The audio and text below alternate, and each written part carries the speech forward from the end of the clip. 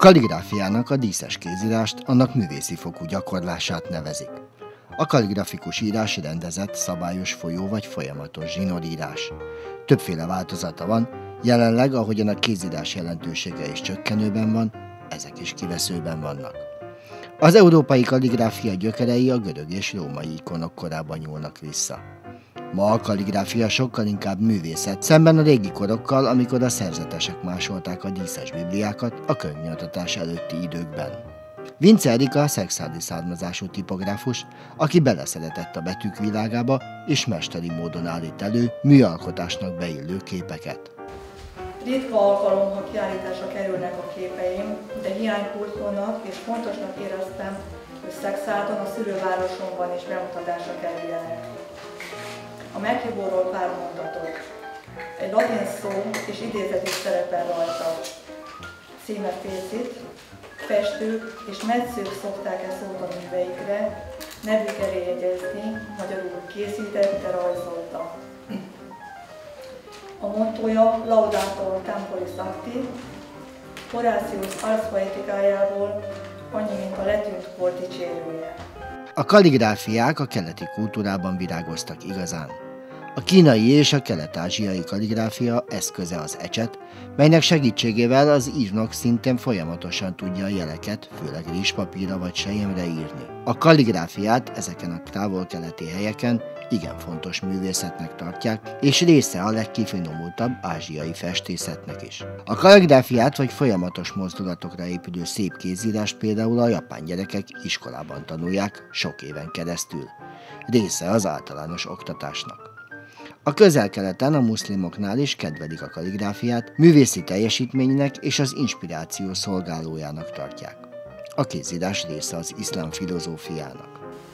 Betűjének annyira kerekítem a papíron, amennyire jól érzem magam a világban.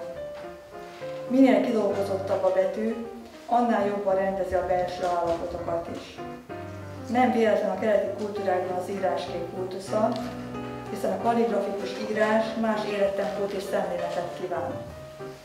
Remélem érzik a kézírás és a betűk szeretetét, ami az életem során bátran közelítettem, érezzék, hogy tisztelem az előttem ért alkotókat, úgy, mint skriptorok, kódexírók, Bocskai György, Louis Madaras, Edward Johnson, Mary Angel.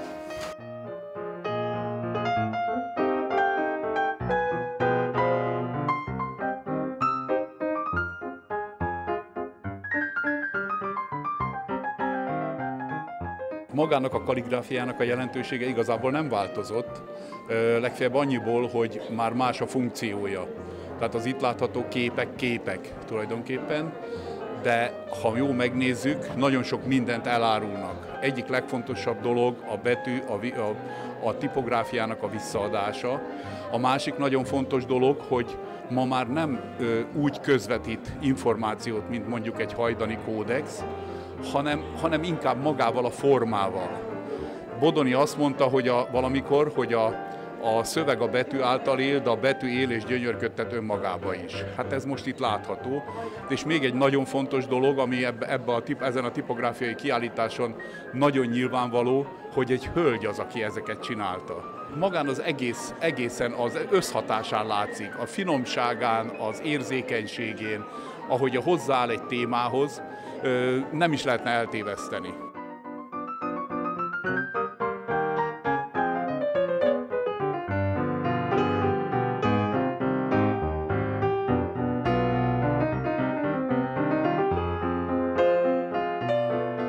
A kézírás önmagában van egy az a régi mondás, hogy az írás a lélek tükre, de hát aki művészi módon használja a kézírását, azok a tipográfusok, akik különböző fogásokat az évszázadok, évezredek alatt kialakult tipográfusi fogásokat megtanulták, azok művészi módon is tudják használni a saját kézírásokat.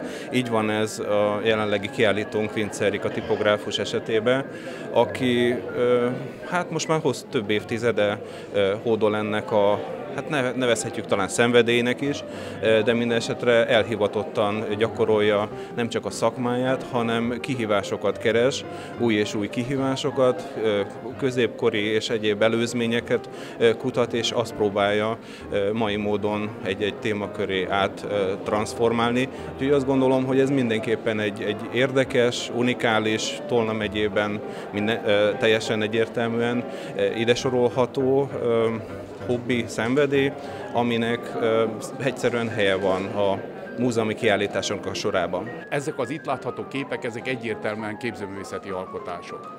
Tehát ennek most nem olyan funkciója van, hogy egy könyvben jelennek meg, nem olyan funkciója van, hogy magát az információt konkrétan közöljék, hanem az, hogy magának a, ennek az egész szakmának a szépségét közöljék. Tehát a betűnek, a tipográfiának, meg hát a diszítésnek a szépségét.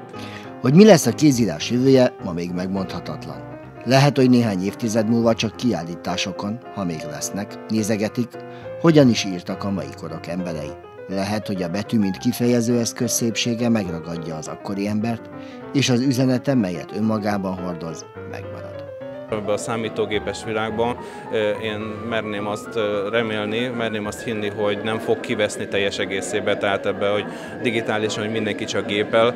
Egyszerűen, hát ezt pszichológusok is alá tudják talán támasztani, hogy a magával a kézírással olyan kifejezési formákat tudnak megtanulni, illetve gyakorolni, akik, akik használják ezt, amit önmagában csak a klaviatúra használatával nem. Tehát azt gondolom, hogy ez ki talán nem fog soha halni, és hát annak az élettani hatásai megint csak azt gondolom, hogy közismerten elősegítik a emberi fejlődést is. Most a mai világban, amikor mindenki már csak telefonon tud SMS-eket küldeni, hogy egyáltalán van-e a kézírásnak jövője, de itt még van, és ebben még van, egyértelműen.